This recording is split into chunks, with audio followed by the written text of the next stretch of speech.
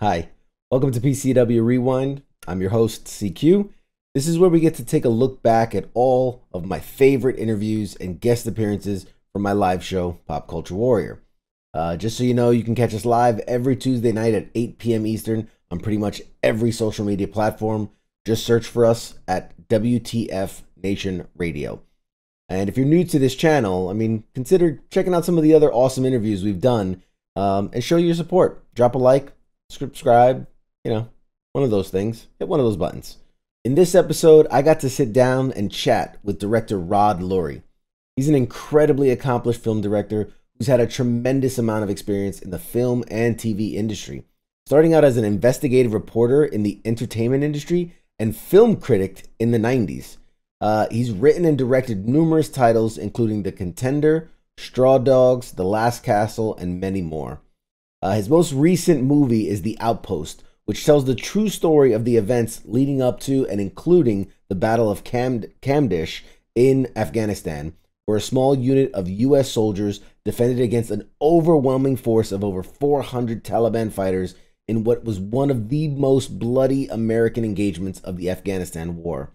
The battle resulted in two living service members, uh, Ty Carter and Clint Romesha, uh, being awarded the Medal of Honor, which is the first time that's happened in nearly 50 years.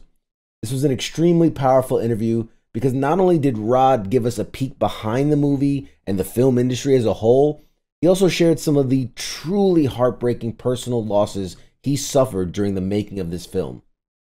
So, without further ado, please enjoy the Pop Culture Warrior interview of director Rod Lurie.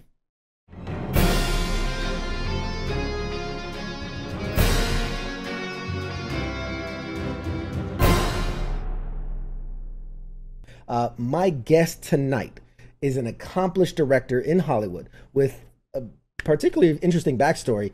Um, he was born in Israel, uh, but moved uh, to the United States at a young age, growing up in Greenwich, Connecticut, as well as Honolulu, Hawaii.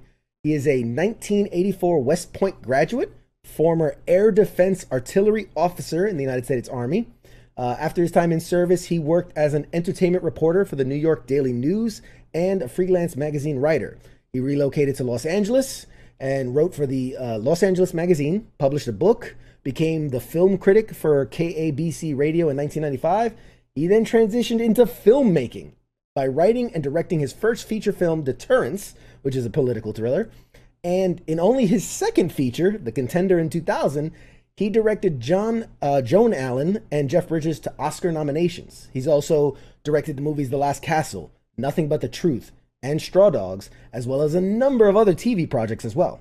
So, most recently, he's directed The Outpost, the story of the 53 United States soldiers who battled a force of roughly 400 enemy insurgents in northeastern Afghanistan during Operation Enduring Freedom in 2009, a battle in which eight men lost their lives, numerous were wounded, and two men came out of it with a Medal of Honor. So, please, everybody, welcome to the show, director Rod Lurie. Welcome to the show, man. Thank you, man. I'm very, very, very happy to be with you. Uh, I'm I'm over the moon, so excited. Um, so, um, before we really dive into the movie proper, I, mm-hmm. I really want I, I spent some time reading up on you and, and, and, and, kind of your career and what you did. I want the audience to understand you just a little bit. Uh, I want them to understand you a little bit more. So, right. uh, your father is yes. a military veteran of Israel. Yes, um, and from and from what I gathered, he worked as a political cartoonist, which includes yeah. illustrations of Life magazine. Um, yeah. and, and according to Guinness Book World of Records, he's the most widely syndicated political cartoonist in the world. Yeah, of all time. That is of all time. His uh, name is Ranan, R A N A N, Lurie, and uh, you know, but I, I think that he will always identify as a soldier. Fantastic. And uh, you know, above uh, above anything else, and he was uh, he was you know that's a studly army, and those are tough motherfuckers. You know? he's a.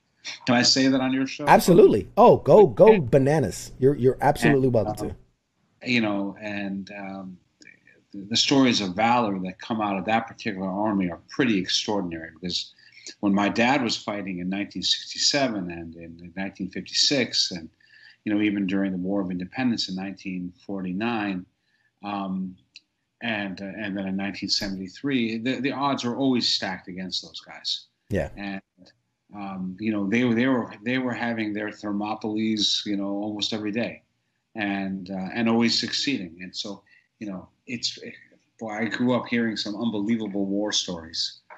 Yeah, as I was growing up, it was pretty amazing. Absolutely, absolutely. And now, again, for for the folks at home, to add to just for good measure, on top of that, your mother was also considered the most successful real estate agent in Greenwich, Connecticut. Is that true? No, that is not true. She's the most successful real estate agent in Connecticut, period, and maybe Ooh. even the United States. Wow. It's not it's not difficult to be the most successful in America when you're a real estate agent in Greenwich, Connecticut, because like for example, she sold the Trump home. Oh wow you know, you know that you know, and she sold. I mean, there are just a ton of you know multi-billionaires that live in uh, in Greenwich, and so she's selling routinely homes that are worth thirty to fifty million dollars, and so yeah, she's uh, incredibly successful, um, and probably the most. She's eighty-one years old, and she is still not just selling real estate, but driving uh, into Greenwich every day and uh, selling the hell out of that stuff. That's and doing phenomenal. amazing yeah, the best, the best, uh, that one of the best realtors that maybe has ever lived. Wow. So I'm very proud. I'm very proud of her. You come from some some solid stock, is what I was what I'm what I'm getting at, right? Like you, you. I'm a I'm a, I'm a black sheep of the highest order. it's like, you know, I'm out. I'm, I'm, I'm out right now with a number one movie in America and a really well reviewed film, and and I'm still like uh, you know the black sheep. So I, don't, I don't know what it's going to take. You're the unsuccessful guy, right? It's like, hey, when are you going to pick it up? When are you going to, you know, when you when are you going to really break through? my my brother, his name is Barack. Oh. And, um, right. and and he is a conservative radio talk show host in in Los Angeles and in fact, his wife's middle name is Michelle, and his daughter's name is Sasha, and his name is Barack. And wow. when we went to high school, uh, we were a year behind Obama. So the um, so he's really successful too. He's a very very successful lawyer and conservative conservative radio talk show host in in LA. Wow, that's phenomenal. Um, yeah. Let me ask you this: so, as both an accomplished film director and TV director, what yeah. what are some of the let's say the major differences in directing between those two um, that like us the general audience doesn't really know about or get to see? Well generally speaking in television um, the schedule is much much shorter. Like every episode you'll see of a, of a one hour show um, routinely it's eight days um, for um, you know when you're making a movie a two hour movie is routinely you know about 40 days uh, right. on average 45 days and so you have to move move with much much more speed when you're making a television show than when you're making a movie and so you know greater compromises um, are made along the way especially in terms of the cinematography in terms of uh, the in terms of the lighting. And you know and sometimes actors don't get as many takes as they like to get performances just so.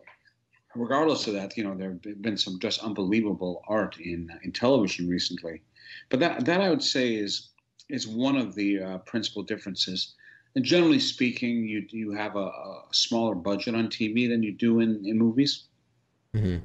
well there have been many many great low budget films. The outpost uh, the movie that is out right now was, uh, you know, I, I, would say it cost less than a, a normal TV show. Right. So, you know, so so despite the fact that of these differences, which I just relate to you, it's not it's not always the, it's not always the case. Well, one of the you know there's a, there is another interesting difference, which is that whenever you make a film, you always say, "Oh, damn, I really wish I had." Done this or I had done that. You know, you I, I want a do over. Right. On, there's no such thing as a filmmaker who doesn't want to remake their film they just made. Right. I, I can tell you, I would do a ton of shit differently in the Outpost now, right. um, if, I, if I had an opportunity. Um, but in TV, you get that opportunity because you go from one episode to the next, and although you can't redo an episode, you can improve from episode to episode. Right. Generally speaking, when you look at the first episode, it's called a pilot. Um, the second or third episodes are usually better because we learn from the mistakes of the first one, or we or we we learn to accentuate what we did well in the first one um, into those second or third episodes and, and down the line. Right. Fantastic. Thank you for that. Um, so, and, and, guys, if you have questions, absolutely put them in the chats. I'm seeing them, and I'm going to get to them. I want to get through these first few, and then and then we'll, we'll take some audience questions too.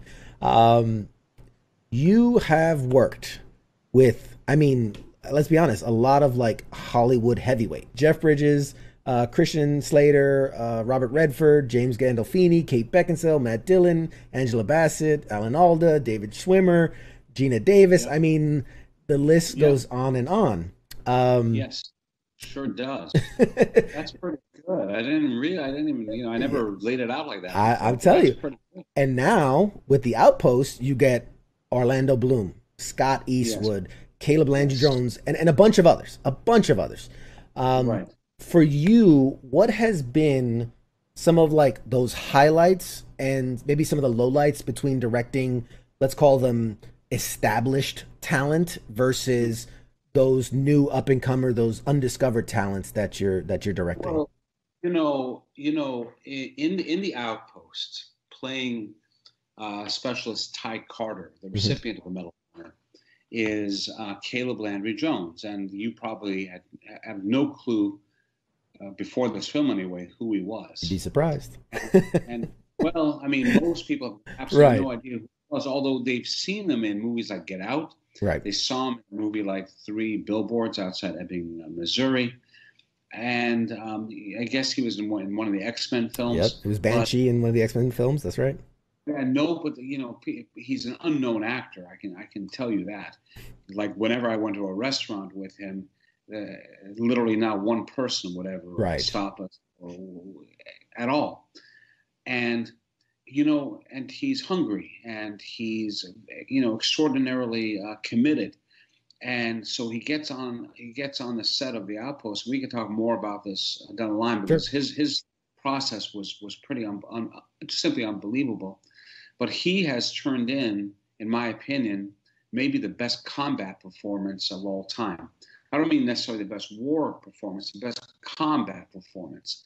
Like when you see this kid in combat, the performance that he gives and the emotions that he puts out and the awareness of the hell around him, the tragedy um, around him are, uh, you know, they're, they're simply, it's simply remarkable. And I, you know, I would not at all be surprised if he gets nominated for the Academy Award for for our film. I, I certainly would uh, would love to see it. So when you have somebody new, when you have somebody CQ, when you've got somebody new like him, it's just like an absolute delight to to behold. Now you go to some of these, you call them established actors. Some of them are like living legends, like like Robert Redford. Right? Sure, absolutely. And you know, those are guys that are teaching you a thing or two as you're going, as you're going down the line. And you know, obviously, I've got anecdotes and stories about uh, about you know every every single one of them, um, and and and sometimes you just you know you yell action and and you and you remember why they are as great as as as great as they are right why they are you know the the best of the best. One of my favorite stories is is this. Um, so I'm gonna make. I was gonna make a movie. It's my second film. You talked about. It's called The Contender, mm-hmm. and Contender. It's a political movie, and and I had offered the role of the President of the United States to Paul Newman, um, and.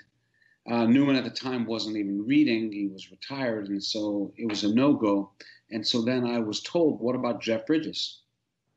And you know, the first thing that comes to my mind is Jeff Bridges. This is not a comedy about the president. It's a you know, it's going to be real. Right. And you know, and and Jeff had always played these supremely laid back guys. Most specifically, he had just played the dude in The Big Lebowski. That's Are right. familiar? Absolutely. Familiar Absolutely.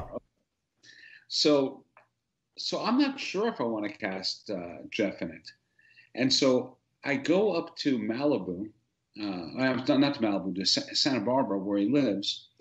Uh, it was a Saturday morning, 10 a.m., and uh, I knock on his door, and he answers the door, and he is in his Big Lebowski outfit.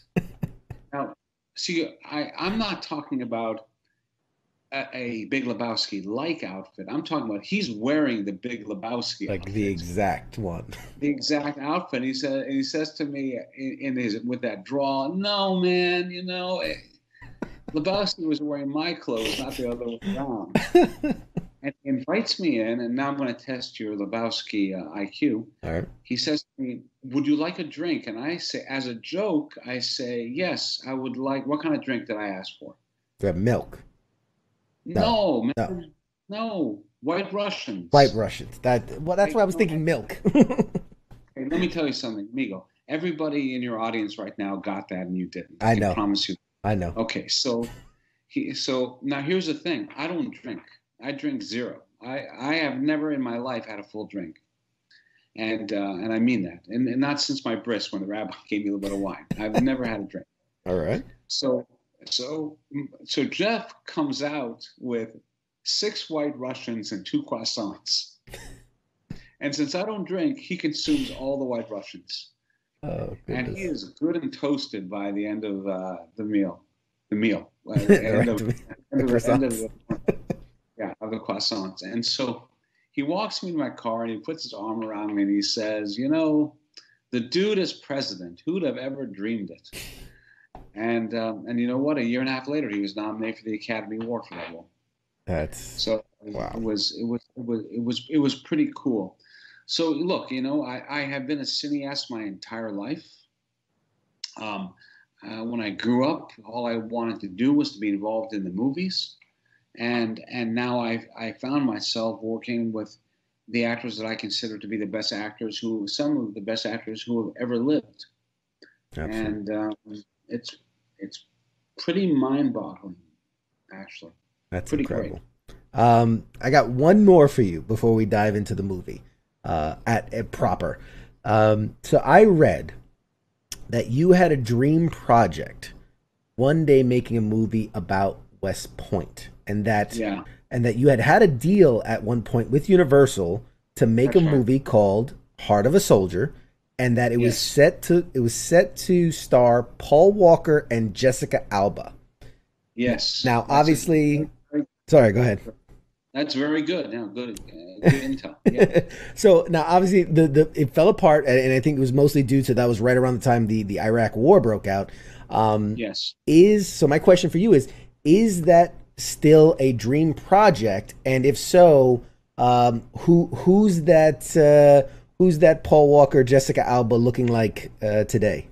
Well, that, those are well. The I'm gonna I'm gonna cut off the second part of the question because the first part is yes, um, it is a dream project to do something at West Point, but it is not Heart of a Soldier.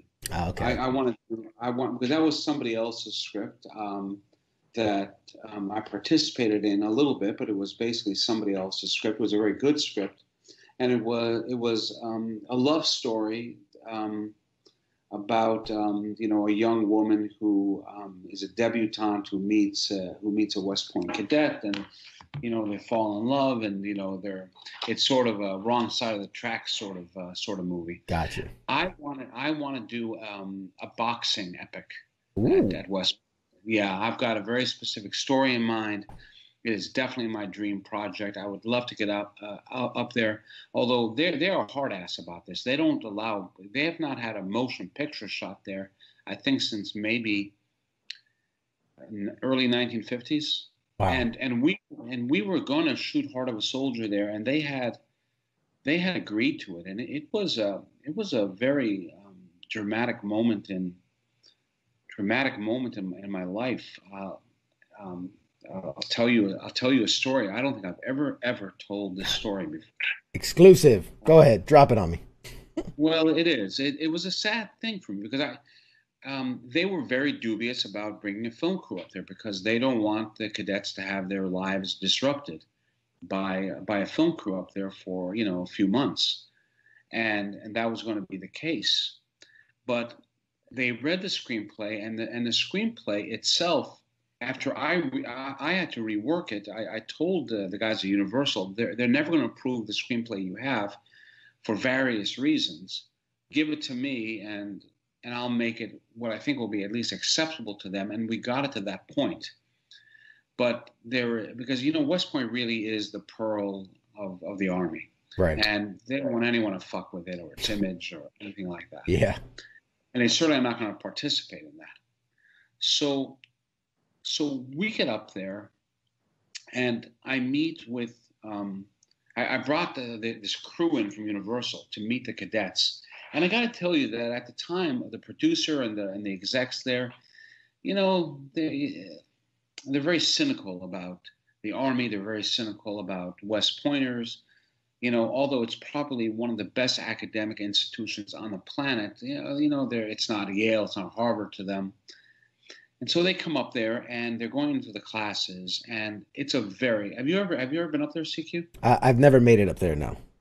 It's just it's a, a very very impressive place. I've heard. And you go into the class, you go into the classrooms, and you know they're being taught at the highest level of academia for uh, you know undergraduate study, and so and they're meeting with the cadets and they're meeting with the honor the honor board people, and they're very impressed. And finally, we go to um, we go to meet with the superintendent, three star general, and he says, you know he turns to everybody in the room and says, I don't know you guys are Hollywood guys. Then he points a finger at me and says, I know you. And he even had a file there, I think, with, you know, from when I was a cadet. And I was a very shitty cadet, but I did graduate. right. Okay. So that says something. I was I was a shitty cadet, but not as shitty as the 500 people who didn't graduate. Right, right. And um, and he says, you have to look me in the eye and promise me that we're not going to get fucked here. And by that, he meant that we're not going to change the screenplay to reflect badly on the Academy. Right. And that if I say we're going to make the movie and they're going to start getting organized with us, we're going to make the movie.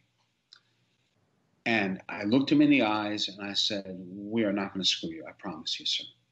And he goes, In that case, we have a deal. And this was momentous. I'm telling you, not since 1950. Yeah. And the guys at Universal, I don't think they quite grasped how big a deal this was for the Academy because if they were going to go in, they were going to go in fully and completely and cooperate, and it was going to be a thing of beauty. And, you know, we were all sort of delighted by it. And then, indeed, um, when Bush ordered, um, was it uh, Enduring Freedom back then? Was that the uh, Iraqi Freedom? Iraqi Freedom, right? Yeah. yeah. Operation Iraqi and, Freedom. Right. So he begins Operation Iraqi Freedom, begins the shock and awe, and you know, and at that moment, you know, that was not as popular a war at all right. as when we had gone into Enduring Freedom, and Universal just cut off the film. It cut it off, and it broke my heart.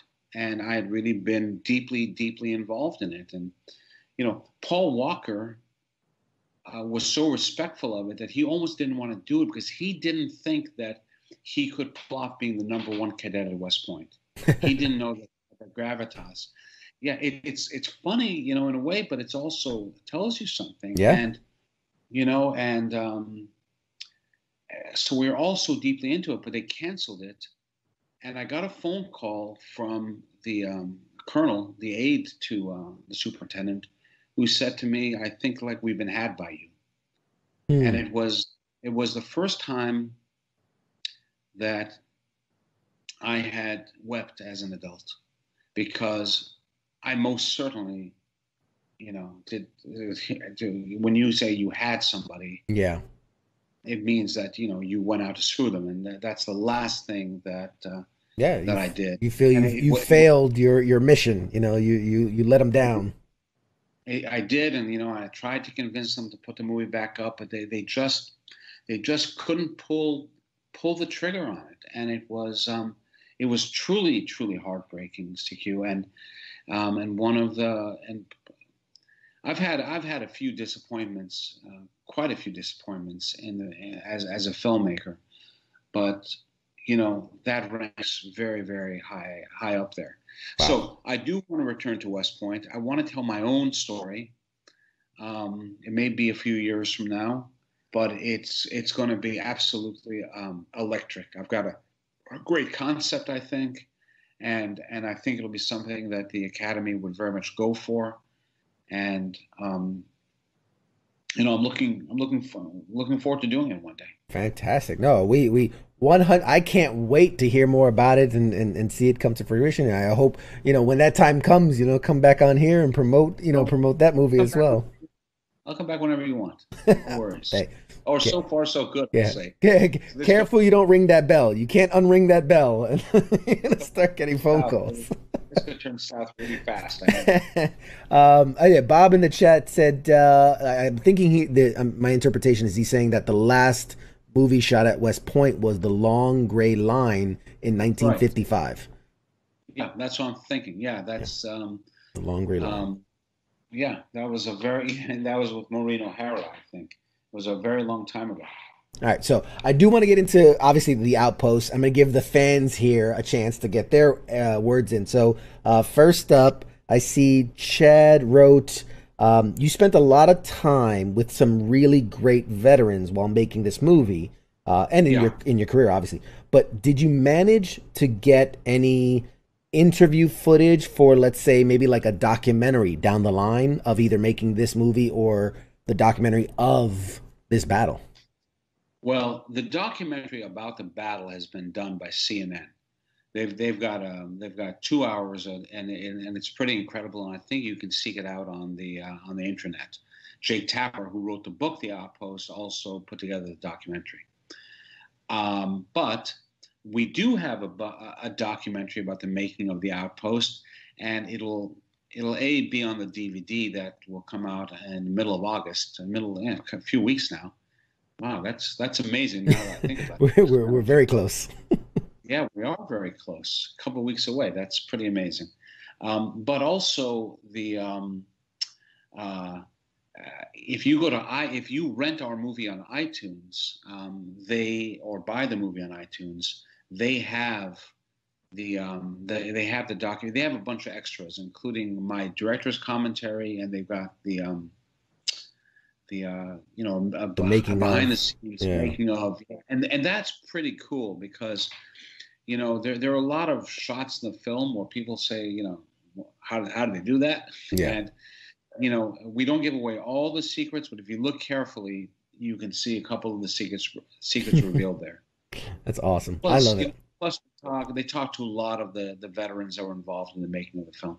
That's awesome. I'm I'm I'm the guy that when I buy a movie, first of all, I bought it because I enjoyed it, but I will day one when I buy it, I'll watch the movie again, and then immediately yeah. after that, we'll watch it again with like director's commentary, and then again yeah. with like you know the behind the scenes and the gag. Or like I I just devour I, these things. I'm, I love the same, I'm the same way, dude. One of the things that I did during this pandemic, as I was stuck in my house, I was a I looked at classic movies I'd never seen before and two, I looked at, I went through all my DVDs on all the films I had seen and started to listen to the commentary. Now, sometimes the commentary is fantastic and really enlightening, and mm-hmm. sometimes mm-hmm. it's like, like, like really terrible. Like my friend, my friend Billy Friedkin, who directed The Exorcist and The French Connection, he'll basically just say, you know, there's Gene Hackman standing outside smoking a cigarette goes inside. He just he, he's just sort of narrating just... movie, you know. Whereas what I will do, and what I think people who are really good at this do, is that they'll tell you how, not just how, how it was made, but if if they are really honest and want to give a really great commentary, they'll tell you where they fucked up. Yeah. they'll tell you what mistakes they made, and I and I and I tend to do that on my commentaries, including the commentary on the Outpost, because I just think it's more interesting for the uh, you know for the viewer and for and for the fan. Absolutely. You know, I'm not trying to do. You've already seen the film. I don't need to do a commercial for it. now I can tell you the, the I can tell you you know the truth. like in in the Outpost, we cut out a couple of scenes um, that I really regret having cut out. Mm. And I tell you at the moment where it comes up, here was a scene where so and so was supposed to happen, but I, but it got it got cut out.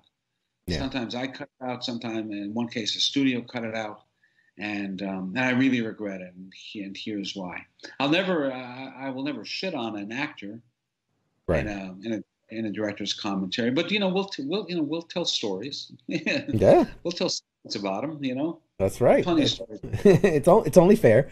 Um, so okay, uh, and really, before I read any more questions, I just want to say, for me personally, I sat down, I watched this movie. Um, I was looking forward to seeing it in, in theaters. Obviously, we weren't able to do that.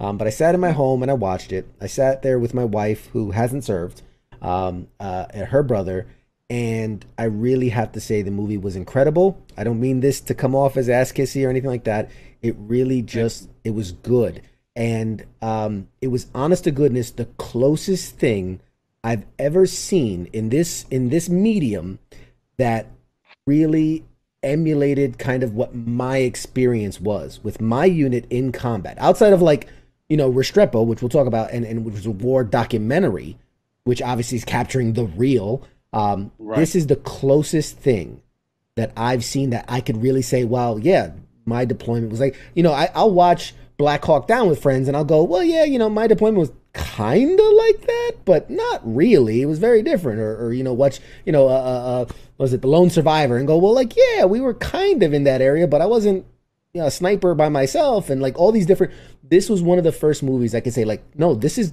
this is what it was like. We were just a bunch of well, dudes out there. Mm-hmm.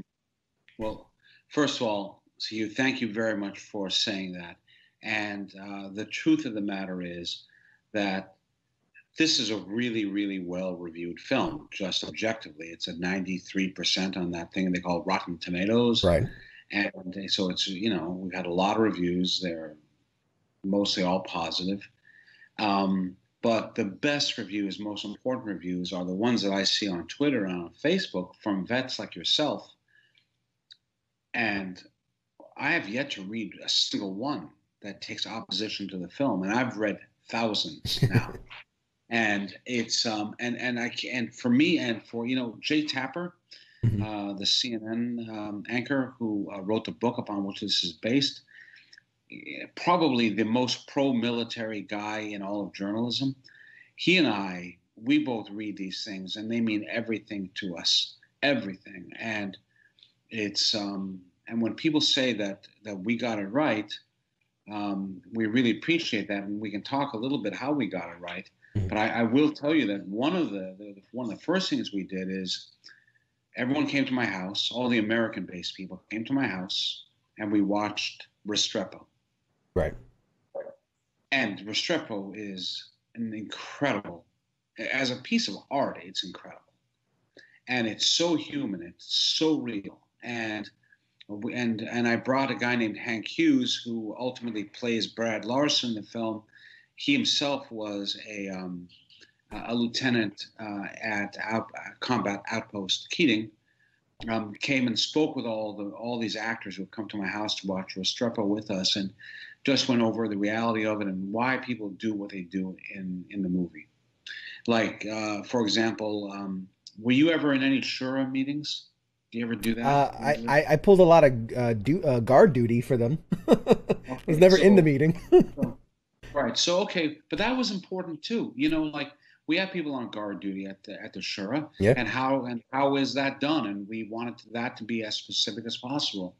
But you know, Orlando Bloom would watch it and see how the officer, the captain in that movie is is conducting the Shura. So did Milo Gibson who plays Cap, Captain Yllescas. Mm-hmm. And so, you know, so we watch that in Korengal. We also watched. Mm-hmm. We watch you know, these documentaries. That was much more important to us than um, the, the, narrative films about um, about war, even true even true stories, because we we really really sought out for this thing to be as real as it possibly could be, uh, CQ. And um, so, thank you for saying that we accomplished that. Absolutely. And, uh, and but but we did, and you know we had, you know, Ty Carter was on set with us and wow. showed us exactly what he did in the Battle of Kamdesh, and I mean exactly. Right. He was he was running with Caleb, saying, "About here, I stopped breathing," you know, and this is how we held the stretcher. And this is the, I, and now I opened the I opened the door to the LRAS two with my right hand, not my left hand. And he and he shot those two dudes a little further back than where they are. And so you know, we had all this authenticity. Daniel Rodriguez, um, who was a specialist during the yep. Battle of Camp in the, in the mortar pit, he played himself, CQ. He played him fucking self. Incredible. And, and yeah, and so he brought that authenticity. Plus, we had um, a man named Jariko Denman and his partner Ray Mendoza, who were like these absolutely brilliant, brilliant, um, you know, military and tech advisors who not only put our guys through a boot camp, you know, that's a whole story unto itself, but you know, uh, you know, he he was there showing us like how everything from how the cots would be, uh, you know, you know, ruffled to how the men would hold their weapons, to how you know how well shaven, how how how unshaven could they possibly get? You know, it, it was every fucking nook and cranny. You know, those guys wouldn't let me off the hook on anything, and sometimes it was a real pain in the ass. But ultimately, the end result is this really authentic film, and so you know, so I, I, I really am thankful to those uh, two two little fuckers because they helped us a lot. yeah, I mean, it really all adds to uh, the authenticity of the film and just how grounded and real it felt. Um, right. And and I, well, I you know, go ahead. Sorry. Well, what I was going to say is that you know I, I really I, I want to linger on this CQ because um, it, it, really I know it sounds a little corny, but it's very touching to hear you talk about that. And it's very touching to hear that from the vets. And it's the most important thing I've ever done in my life as a, as a, as a filmmaker is, is not just the outpost, but getting this right within the context of, right. um, of, of the, of the outpost. You know, it was a, um, and the outpost looks like the outpost. And, you know, when we had, um, you know, Stoney Portis, who was the, the commander of a Bravo Troop 361 CAV, when he and the military, the, um, the medical uh, guru, Chris Cordova, uh, back then Captain Cordova, when they came on our set, they were in they were in tears, wow. in tears, um, and they were also there for the day that we shot, um, you know, the big the big surgical scene in the film. Ty oh, Carter Medal of Honor recipient uh, while we were rehearsing the movie. He's walking and he and he stepped on an air hose and a bang was made, and and he went down. You know, and I, I saw the first time that I saw a military PTS mm. um, in the in that in that form, and you know, I, I'm I'm guessing that so many people have suffered from this that maybe you have too. Absolutely. And it's um, th- th- this shit is real, and you know it seems to be more more real with this war than than others. I, I don't quite know why, or maybe we're just on the lookout for it more. But so you know, so anyway, thank you. That's a long way for me saying thank you for for bringing that up. Absolutely, and and honestly, our comments are being filled with uh, like one just came in. Minor details will ruin a whole modern war movie for me. The Outpost was spot on. Oh, so so you have, and these are these are guys that are on the ground. These are guys that have lived it, bleed it, and you know what I mean. Like it's real. This is real. Uh, mo- our, the majority of our audience is, is a veteran audience. Um, of course.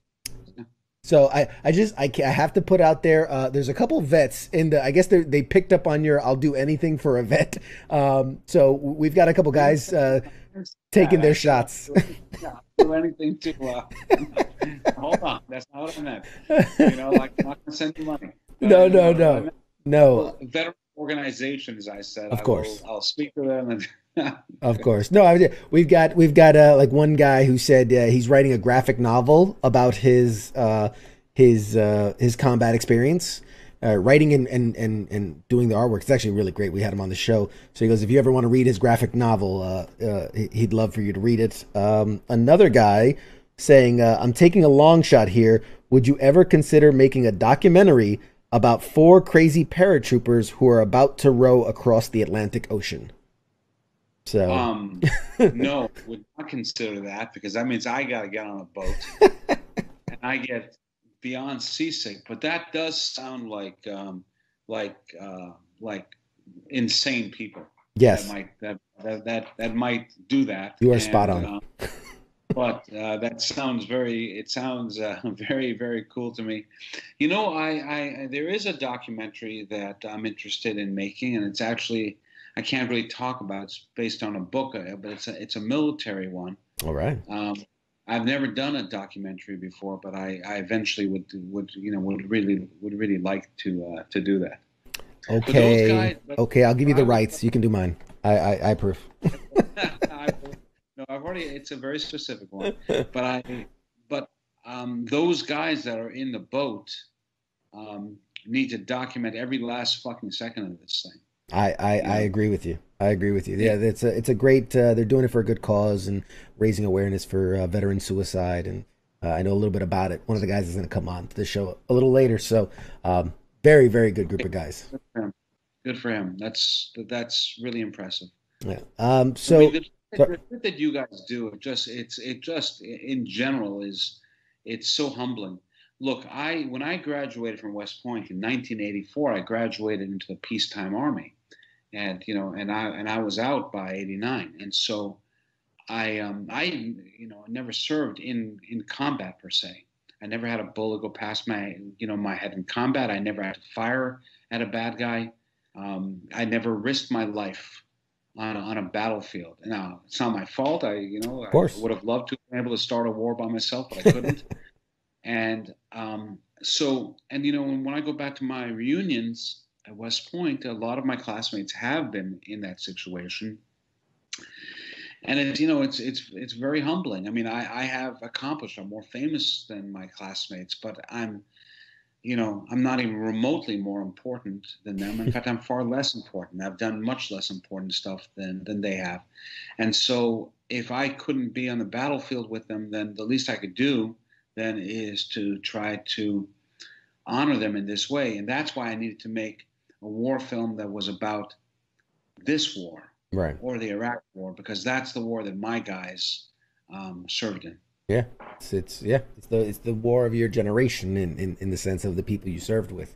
Um, a lot of, and I, I still have a bunch of questions, but uh, a, a, kind of a re um, a question that seems to be popping up in the chats quite a bit in, in some variation or another is with with all of this pressure to get it right.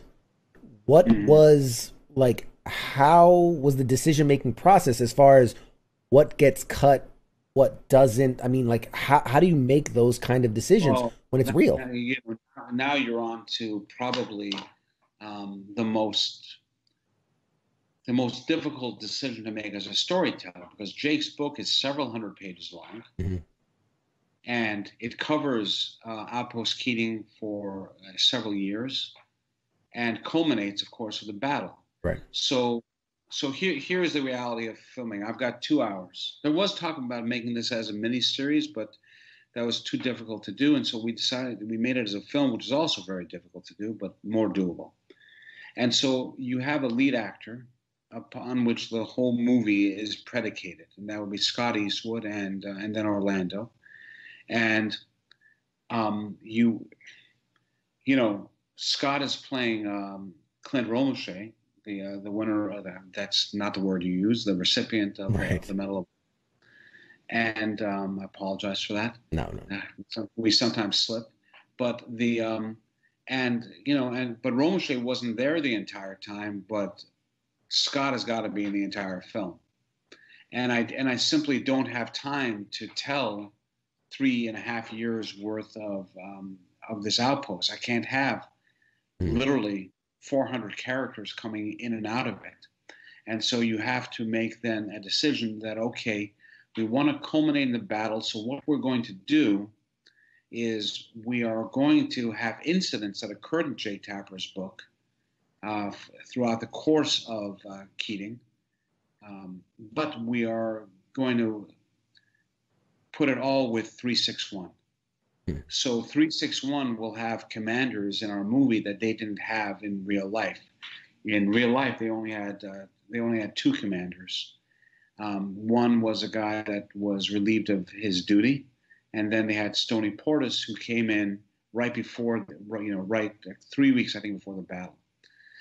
but so, but this was uh, we thought this might be controversial because, you know, the the army and the army veterans are very um, very precious about about these details. Mm-hmm. So, so what I did before I agreed to do the film is I contacted the family of um, of Ben Keating, who Orlando Bloom plays, right?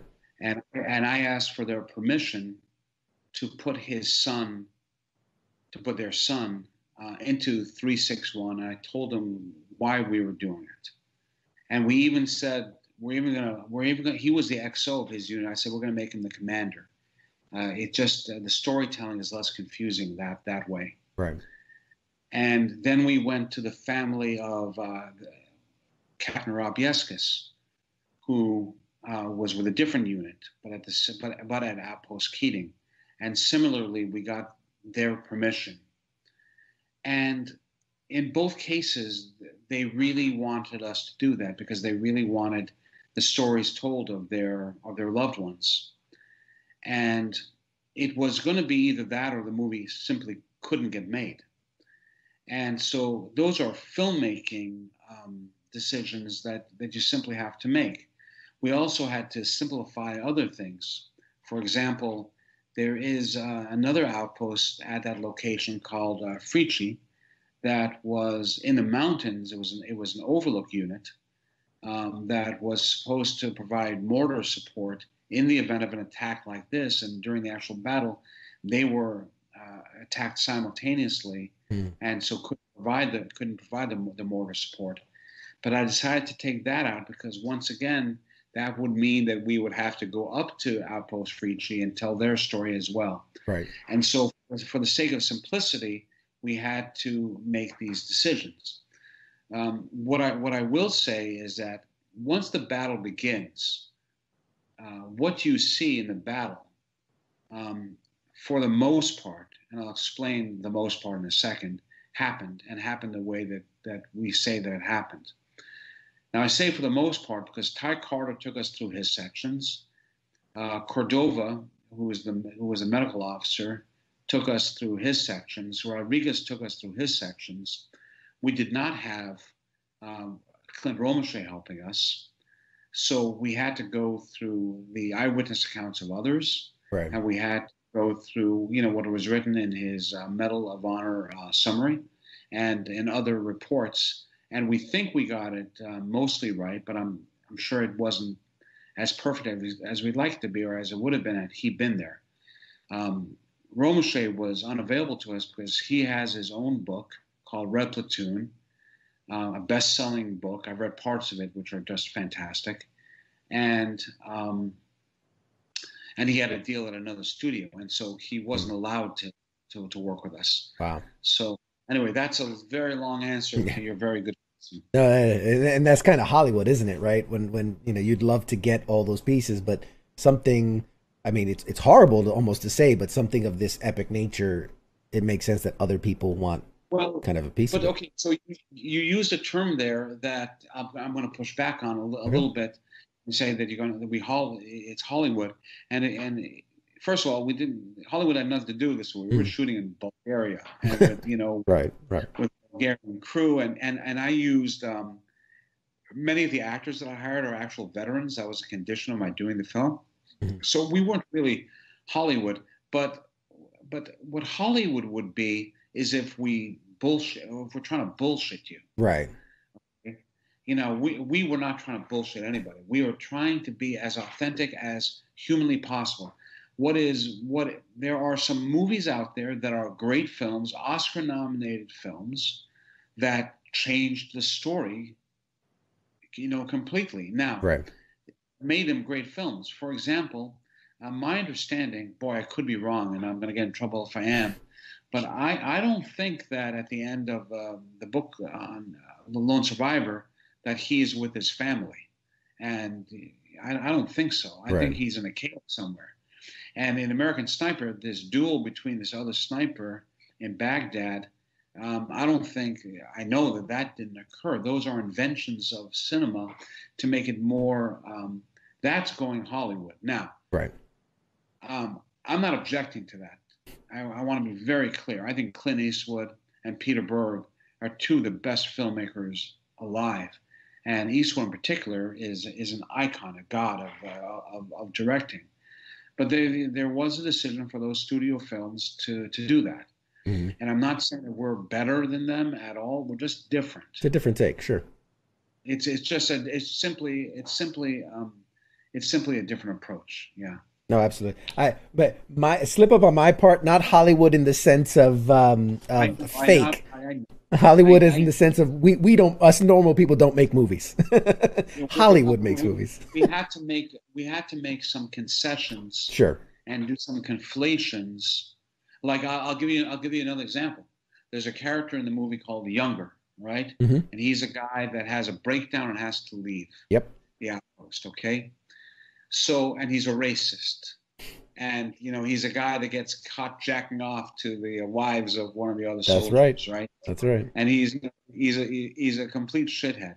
And that is the only invented character in, in the movie. I wanted, because I, the guys who died in this battle and the guys who fought this battle, I, I wanted to, um, you know, although we show them very humanistically and we show them with some of their flaws, um, I didn't want to um, attack their character as human beings. Mm-hmm. And I didn't want to show, you know, a couple of them did fall apart at times sure. during, during, even during the fight. And sure. I, I, and I didn't want to dishonor them. So what I did is I created this guy who was going to take, uh, be the heat absorber of all this stuff. the punching bag. That's I, uh, yeah, yeah, that's right. That's, you know, that's what I wanted. And there was something else that I did in the movie, which is there is this character named Broward, played by Kwame Patterson he is the final commander mm-hmm. um, that we see, you know, properly at the outpost, and um, he's a guy that had to be relieved of duty. He he, for lack of a different, for lack of a better word, some people said he was overly cautious. Some people said he right. was a coward. Right. But and but but because of his, he would never leave the talk.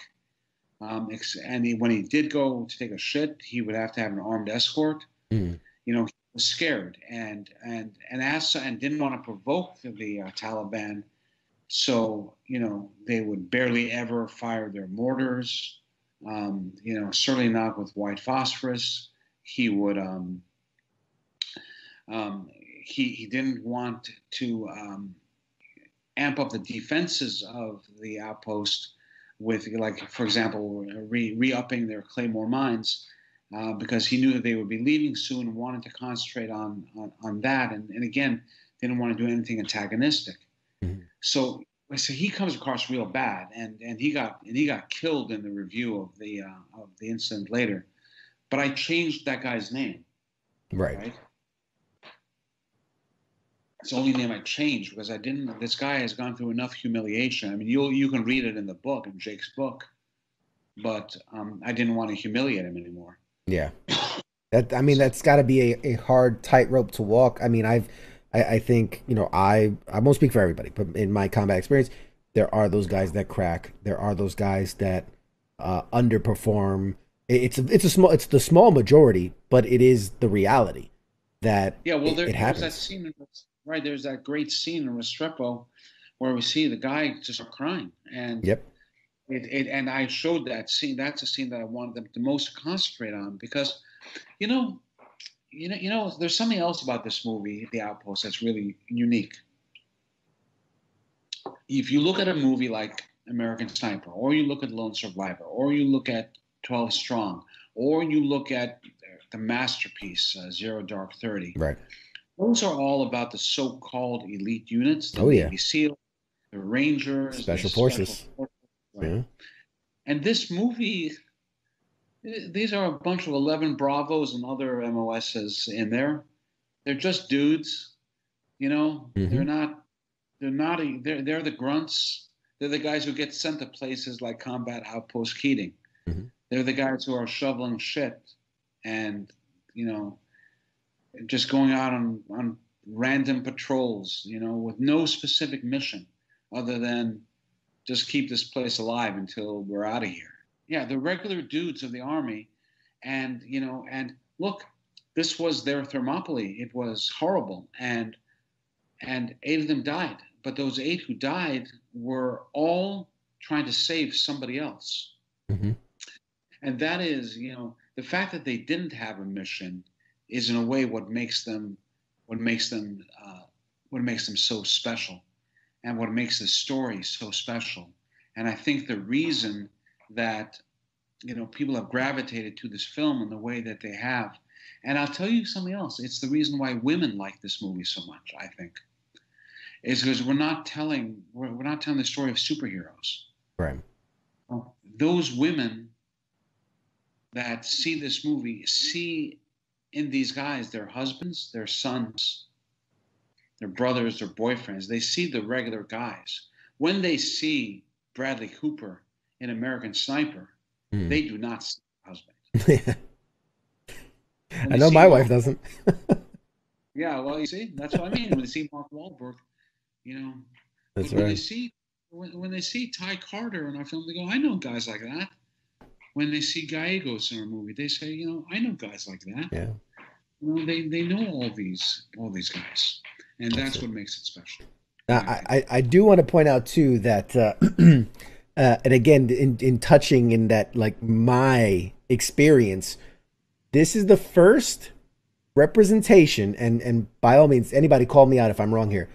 The first time I've seen someone doing the burning shit detail in the in the modern era of Iraq Afghanistan war, um, I have never seen that because I had to do that when I was in Iraq and I was a private in 2003. I had to do that detail, and so it was the. Were you a, were you a fuck up? no, I was the I was the I was the bottom bitch. I was the I was the new guy. I was the the bottom of the what do they call is it. That, is that I never I I've never heard that term. I've heard it. You know where I've heard that term? I've heard that term used. That's what pimps used to call their, their. Right, the one on the bottom. That, That's right. But is, is is bottom bitch a, a term that was in the was it? I mean, it's I I heard it thrown thrown around quite a bit. Um, no, I was I was the private. I was the guy. Like it's the lowest the lowest guy in the totem pole gets the literal the literal shit detail. Like that's that's just how it worked. You know, if you're gonna get stuck, you know, guard duty or whatever, it's gonna be that guy in the bottom. Yeah. Um, and so, and and of course, screw ups, right? Obviously, that that was definitely a punishment. Um, but it was the cherry, right? Heath says that cherry is another another common uh, vernacular for it. But the idea that if you're if you're the bottom guy, it, it, the job has to get done by somebody. So right. it's either usually the lowest ranked guy or the guy that just screwed up something. So I, I had that detail twice, twice in my tour in Iraq. I had to do that, and uh, it it is the worst thing, one of the worst things a human can do. the pole is not nearly long enough. It doesn't matter. It, that smell just burns into your body. You, you, I never, I've, I never had to do that. Yeah, it's it's not pleasant. It's not. People won't sit next to you for three or four days while you no amount of showers will change it. It just it's I'm on sure you. Many people in the audience are relating to this right uh, it's yeah. Um, let me ask. So, uh, are are you doing okay on time? I don't want to. I don't want to hold you for longer. I have a few more. I have like a few more minutes. Okay. Okay. We'll knock out a couple more questions. I think this is such a great conversation. I do want to touch on something that some people might find a little sensitive. Um, I, I, got your permission to bring it up, obviously, when we were talking earlier. Um, during the making of this movie, you yeah. suffered a, a loss of, of, an incredible loss and um, i just kind of want to share with the audience so that they can understand kind of what you went through and how how big of a deal making this movie was in that you went back to it when you know maybe some others wouldn't have. So um, i mean you, you lost your son during the making this so can you can you just explain a little bit about that? I was i was preparing the film and uh, my mom called me. I, I was in a bulgarian uh, pub about to watch the World Cup. Um, and I, um, my mom called me to tell me that my son Hunter was um, in a hospital in Michigan.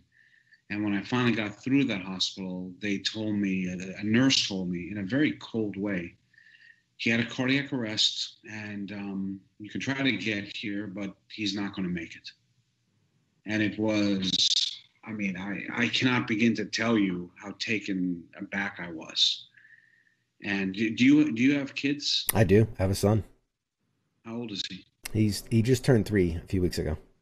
Three. Oh, that's lovely. Well, congratulations, man. Thank you. That's beautiful. That's beautiful. And it was, and in fact, you know, all I could think about as I heard that my son was not going to make it was, you know, you start going to all those memories and I was so flooded with all that, and and I'm, and you know, this nurse is just coldly telling me that I'm not going to make it. He's not going to make it, and and I uh, and I called my my wife, and I called my ex-wife, who was Hunter's mother, and I called the sister, his sister, Paige, and I said, "You just keep him hanging until I get there. I have got to say goodbye." And I did get there uh, through the good graces of um, you know the studio and it was off. I had no internet, no way of knowing what was going on for you know half a day on on this flight. And um, when I did get there, um, he had he had had a blood clot and just came out of out of nowhere. It's a music festival, and uh, we had to make the decision, his mom and I, to remove him from from the machines. Right. And so the thing is that when you remove someone from the machines, you're in a countdown to their death. Yeah. And his chest is moving up and down up and down, and um, his um, my my my my daughter said to me as we're waiting for him to die, Dad, I know that you cannot go and make this film, or you think you can't, but you have to go make this film. The last time I saw my son was at that screening of Restrepo at my house with all the actors, CQ it was like embedded in him. Hmm. And my daughter said, if this whole film falls apart because of him, that would destroy him. Right. So I called the studio and I said, look, do you want me to come back? Because believe me, they had already started making their list of directors that were going to replace me. And I said, uh, I'm, yeah, I'm, I said, I'm going to come back if you want me. And they but, but if I do come back, you're gonna have to let me make my movie my way because it's gonna be dedicated to my son now, and it's a whole new fucking ballgame. Right. And they said, "Come back." And I mean, you know, he was the same age as these guys who died in the battle. And when the families of these men found out, we, and that's something we never talked about, is my relationship with these families, but it was good. Yeah. But it was amazing once he died. They were there for me. It was like they were my family. Yeah, you, you become a member of the tribe. It's a terrible club to be in, but I understood, you know, it changed my whole philosophy on the making of the film CQ because I had to think about if I were to see my son die on screen and I had to have that happen, how would I want it to happen? Right. And it was with truth and honesty and not a big musical score and not and not bullshit you know you're gonna you're gonna you're gonna tell it straight and i got back to bulgaria where we shot the film and i gathered the crew and then i gathered the cast and i told them guys this is not going to be easy i'm going to bury my blood and my bones in the soils of bulgaria and you guys can either join me or you can be buried under underneath the soil. For sure. My bones. And um, I've I've never had a crew and cast so rally. You know, Hunters. Th- this was an impossible movie to make. I had about 30 days to make a giant war film with a peanut a peanut sized budget. But these guys, they found they found a way, and we were gonna we were gonna win this. We were going to accomplish this and it was beautiful in a way. And I had a hunter's photo up on the monitor the entire time. Anybody had something to bitch about, they came back to the monitor, talk to me, then they would look at Hunter's photo and they would walk away. Wow. Just go well, go deal with it, whatever the issue was. Right. So the, the actors and the crew, they were not going to let down on this set. They were not going to let down um, Ty Carter, who was there.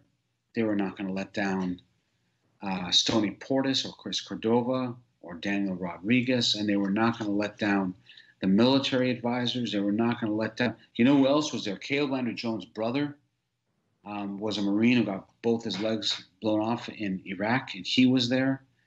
They were not going to let those guys down. They were not going to let me down. They were not going to let Hunter down. And I am so proud to have dedicated this this movie to him. And um, they say that you know you die twice. Once when you leave this earth, and the second time when the last person ever speaks your name. And let me let me tell you something. Um, for my son, and for the guys who died in this battle, Gallegos, Griffin, Thomson, Scusa, Martin, Mace, Kirk, Hardt, even Faulkner, who died later of an overdose. Though their names are going to be spoken for a really long time. Absolutely. And um, that was what was most important to me. And so the only thing that I can tell you, if you lose somebody that's close to you, and and, and probably everybody listening, has by the mere fact that you're in Afghanistan or Iraq, you've lost somebody close to you. Mm-hmm. All I can tell you is it helps to say their name and to keep the name alive, and you know however you can.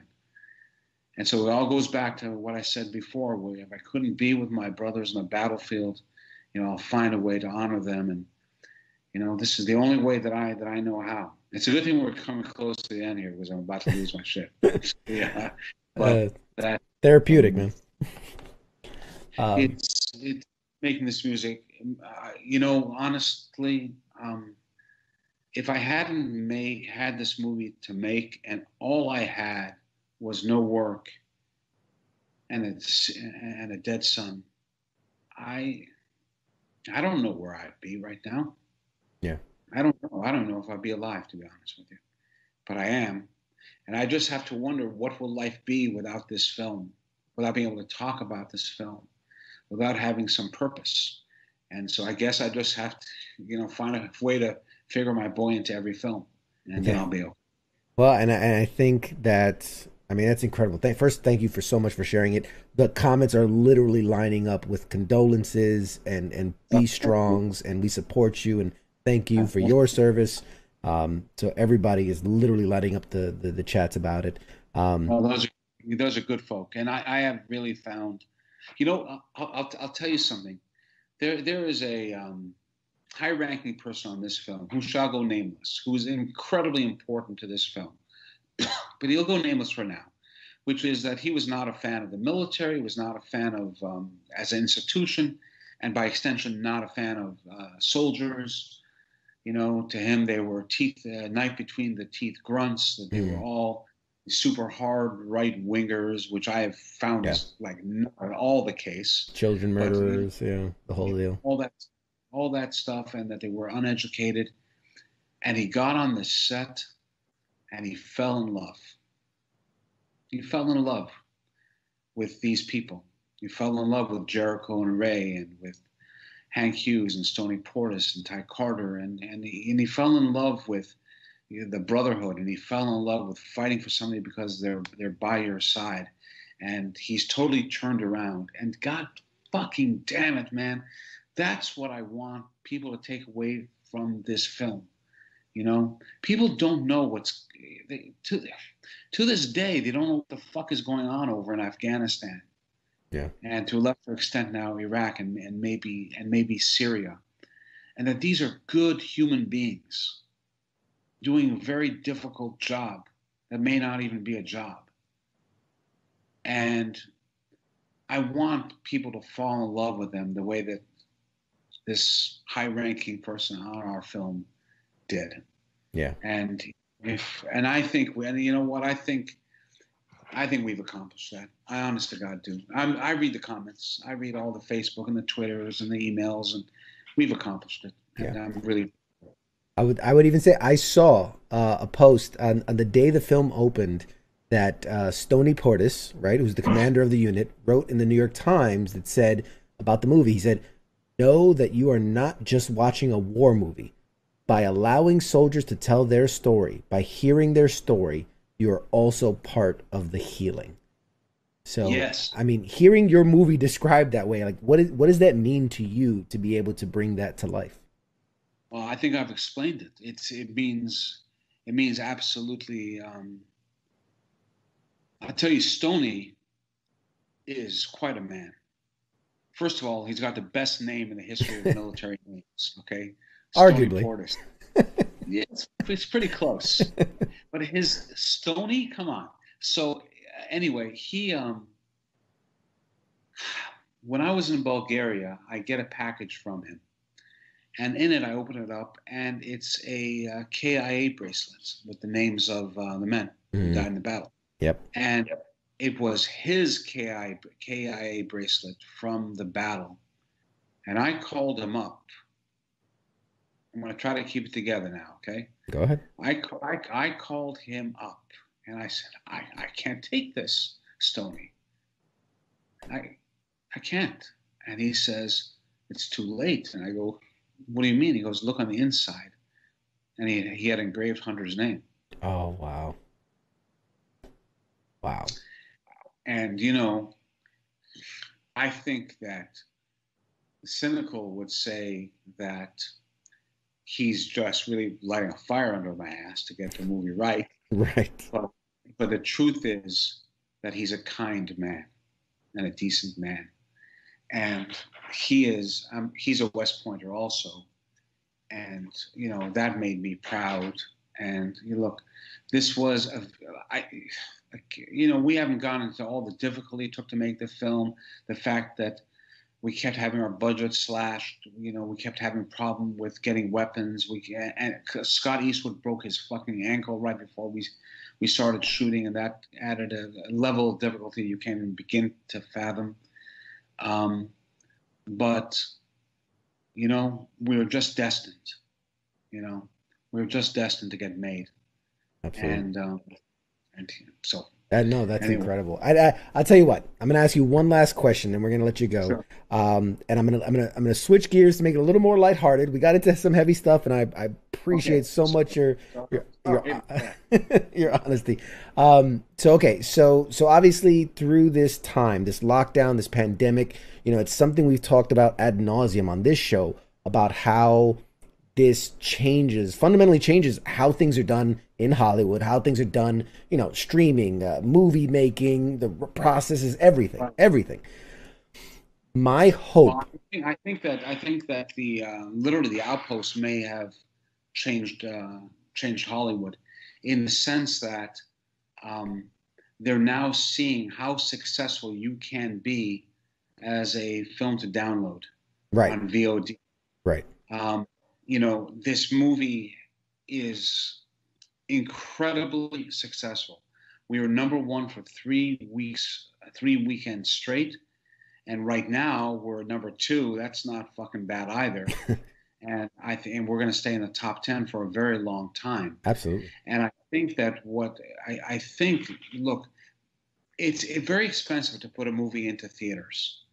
And if you're not a Marvel movie or James Bond or Star Wars, um, it's a very risky proposition to go into theaters. You gotta, sure, you know, create all the um, the DCPs, which are the equivalent of prints, and you got to market for the theaters, and it's it's it's a process. Then you got to share the money with the theaters.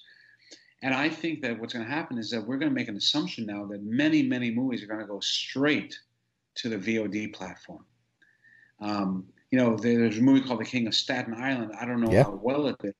I don't know how well it did, but I do know that millions and millions of people have watched The Outpost, and um, and it's number one in Canada right now, and in, it's open in a couple of countries around the world in theaters. It's been very very successful, but I think that people are watching what's going on right now and saying, you know what, you know, for these medium range budget movies, uh, maybe we go straight to straight to VOD. I know that when I'm not making a really big film, uh, CQ, I'm, my movie's going to go straight into this uh, process. Wow. And um, so I think that now, you know, it, it's hard to imagine even when theaters are going to open. I, I, I just, I'm just baffled by so many things. Like there is so much, like they, like football, NFL, for example. Mm-hmm. I am you'll never meet a bigger NFL fan than me. I I watch, I gamble, I fantasy football, I okay, and and I'm and all these podcasts are out there. Okay, who are you gonna who are you gonna draft? Where are you gonna draft them? What's your draft strategy? You take, uh, you know, well, definitely you take McCaffrey first. You go, right. you go to Barkley now, you know, and, and when you take a kicker, and I'm going, guys, what are you fucking talking about? like, baseball's about to go down again. How you really think there's going to be a football season? You know, like how is it going to be possible? Like when a team starts testing positive for the COVID, you know. Yeah. And it's the same thing with like with the movies and like you know like we're hoping there's an Academy Awards this year. You know, selfishly we are. That would be really wonderful. But will there be enough movies have been in release for that to be possible? Right. When will theaters actually open? This movie Tenet is supposed to open um, overseas at the end of August, and then in the first weekend in September in the United States. Yep. Um, but I, I don't know. I mean, are, are movie theaters even going to be open? Are people going to go? You know, what is going to happen? So there's a, when are we going to start being able to film in the United States? What happens when someone gets COVID on a film set? It's very wonky right now. Yeah. Very, So so we don't know. We, just don't know. CQ. Absolutely. I, you know, I was going to say eh, maybe you can you can give us a glimmer of hope here because what we've talked about before is that the at the very least, right, the silver lining that we're trying. I'm a very optimistic guy. I want to look at the, at the the bright side. At the very least, do you see the possibility of like almost like a, a golden age of entertainment in that because of this long pause, maybe there's been more creative ideas. Maybe Well, they've I wrote a- I I wrote a, a screenplay over this pandemic that I think is really great, and we're close to getting that one set up. Um, and just remember that King Lear was written during the plague. They- So, exactly. you know, I, I guarantee you, they're going to be their their screenplays are lining up. There are some really good ones that have been written during this pandemic, and yeah, now there's going to be.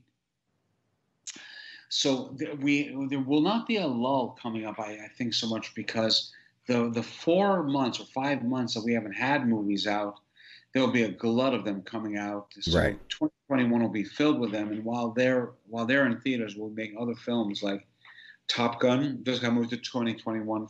Right. I understand, and um, I don't know when it's going to open. You know, I don't know when James Bond is going to open, but a lot of these movies are going to are going to be pushed. And so while all those movies are in the theaters, we'll we'll go out there and hopefully make movies. And um, I think a lot of movies are going to be made overseas before they're made here, though. Yeah. No, I, I agree. And maybe a lot, like you said, a lot of those uh, Mission Impossible, uh, all those ones that are that are you know country hopping. Maybe Fast and the Furious goes Euro. you know these things where they, Well, they shoot other places. Is being filmed. It will be filmed in Europe. Fast and Furious is going to be the one that was supposed to be released last Memorial Day is now, I believe, going to be. Next I believe year. it's Memorial Day of next year. Yeah. Yeah. So Yeah, hopefully. But all right, I, I, I trust me, I could be here all night talking to you. This has been fantastic. Thank you so much for joining us tonight. And let me let me just say that um, you can still see the movie on VOD on iTunes and Amazon. Um, the um, album is coming out on August fourth. I wrote the song that that ends the film. Uh, uh, and um, you it's called Everybody Cries, and you can uh, get that on iTunes and Spotify. And the DVD of the movie comes out uh, to your Walmart or Redbox or Target, whatever, uh, Amazon, in uh, mid August. So. Yeah. And and in- and in talking with your people, actually, um, I can I can say they said it's okay to say that uh, you guys are going to donate some copies to us so that we can actually do giveaways to the fans. So all these people that have been I- hanging I out here.